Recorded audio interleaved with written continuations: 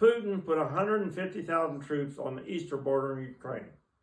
Military equipment as far as you could see. Now, he was doing this to test to see what NATO and the United States would do.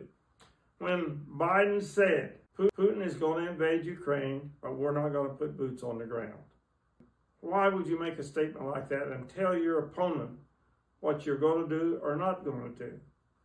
Now, you need to look at the documentary of Putin and the five presidents. He judged him to be very weak. So on the 24th of February, 2022, he crossed the border into Ukraine. Now would have been a good time for you to look at the documentary between Khrushchev and Kennedy and the Cuban Missile Crisis in 1962. That'll show you how different men at different times handled a similar situation.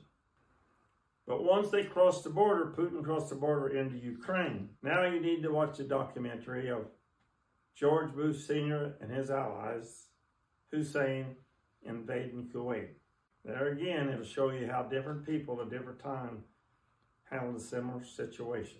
And so here we are, one year, four months later, Putin has almost destroyed Ukraine, and human suffering is beyond belief. It is so bad, and he has so much power, it's affecting the world economy. The stakes are so high, and we let Putin use Ukraine as his playground. Do not let Putin win this war.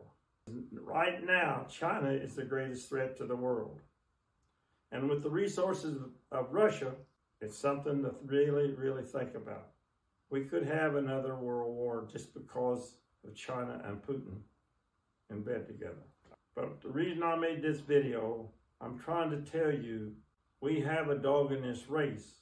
And if we don't let Zelensky win this war, we're going to lose the race. We'll be the next Ukraine.